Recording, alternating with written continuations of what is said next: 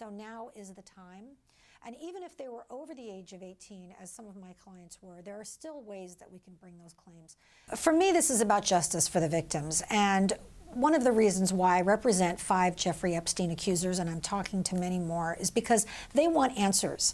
I believe that they are entitled to full and fair compensation for their injuries, and we're fighting for that. But they also want to know what about all of the other people involved? And there have been a lot of theories about very high ranking people in this world uh, being involved, being co conspirators, passing girls around, trafficking in underage girls.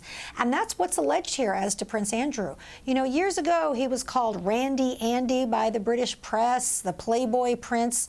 Uh, so we know he was fairly close with Jeffrey Epstein. He says their relationship was such that when he had to break it off after Epstein was a convicted sex offender, he felt that he needed to fly to New York and spend four days with him in order to say goodbye. That's a pretty close relationship. So I don't think it's much of a stretch to say that perhaps, uh, you know, more was shared than just words between the two of them.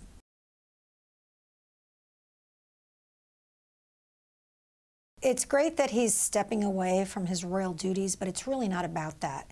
It's about justice and accountability for the victims. So it's important that he says he's going to cooperate with law enforcement. He should also answer questions from all of the accusers' attorneys, especially the attorney for Virginia Roberts Giuffre, who has very significant claims against him. He should turn over any and all evidence he has, emails, texts, calendars, all the normal stuff that you turn over when you're in litigation.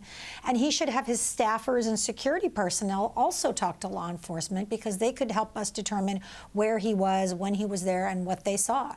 So all of that is extremely important so we can get to the bottom of what happened.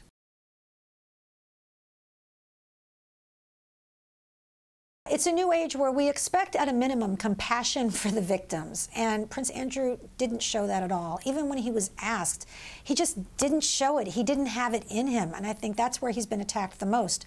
He also was terribly inconsistent on some of his uh, statements, which make him look not credible. That's a problem because he's accused of sexual assault himself.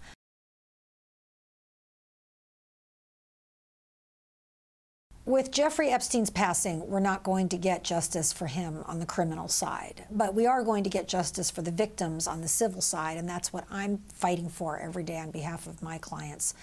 But we have to know who else was involved, who knew what was going on and helped him, who else molested underage girls or young women.